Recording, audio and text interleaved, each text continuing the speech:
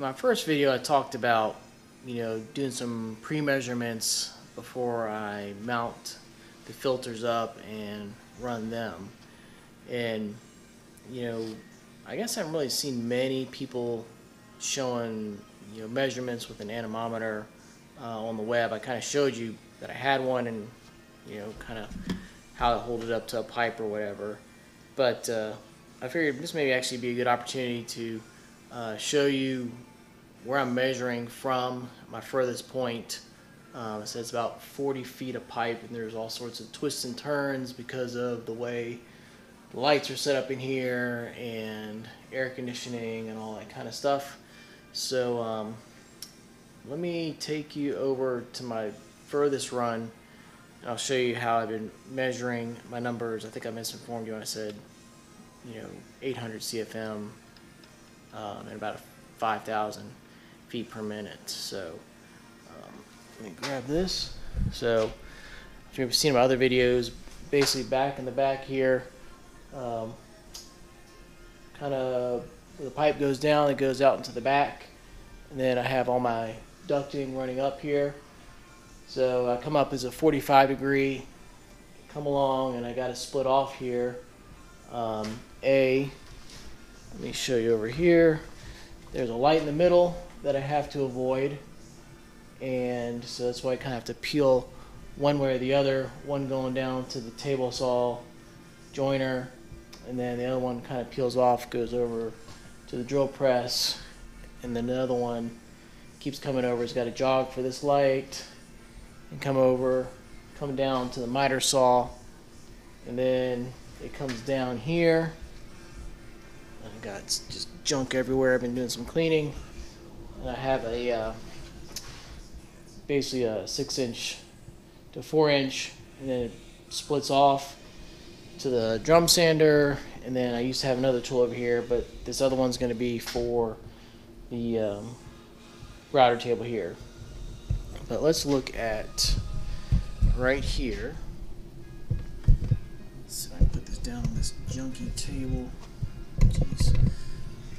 Uh, point right here.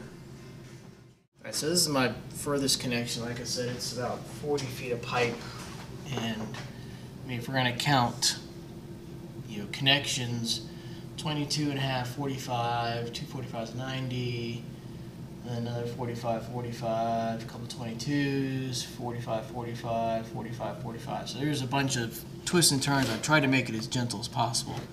Um, this that's in here really just kind of friction fit, and when it's on, it'll doesn't leak much at all.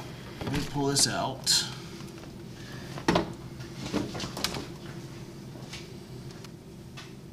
So what I have is this anemometer. I said I got it on Amazon, and it'll measure the uh, feet per minute, and it'll do cubic feet per minute.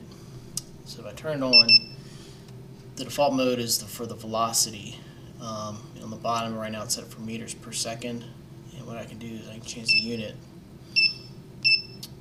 to feet per minute, and that's typically what you see for velocity on um, dust collectors. Like I said in the other video, I typically like to take my measure and just get it over. I want to cover it. I want to just get it enough here that it will, you know, run the vanes but not cause any any um, just you know uh, blockage. And this thing can run in two directions, so I can blow it this way and get a reading, or it can read the other way. But for this, so you guys can see it, I'm going to run it in this uh, setup. So we'll cut on the dust collector here. All my other blast gates are closed, and I'm going to try to see if we can watch this at the same time. So here we go.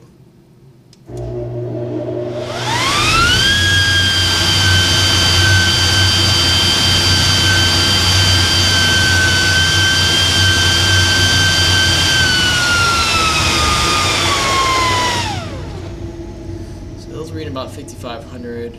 Uh, let me set this to max. That we'll run it again here and see what it says. So basically it's just reading velocity. So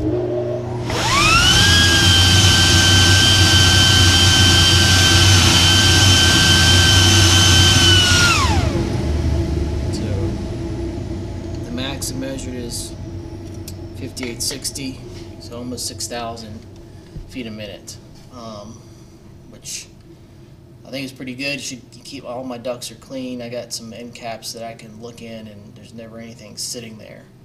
Um, the other function that's nice that this has is it'll measure obviously uh, CFM. So if I get out of this, I think I turn off and turn it back on. Alright, turn it off, turn it back on. So velocity. Alright, now we're putting in the area. So what we're gonna do is put in the cross section of this six inch pipe. And going back to middle school math, and this does it in either square meters or square feet. So I did not try to convert to metric system. But what we're going to do is change this to what this six inch cross section is. Is point, I think it's 188.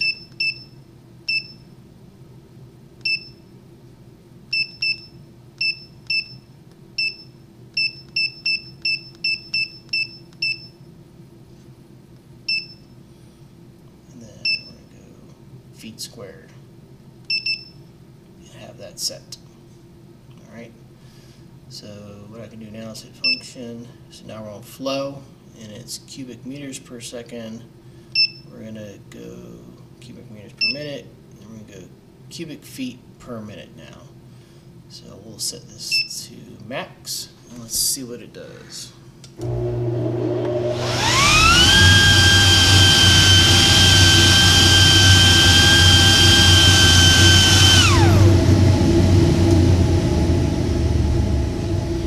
at this point, we're about a thousand CFM, um, which is great, especially with this drum sander I have over here. Um, so basically, what we can do is just take these numbers.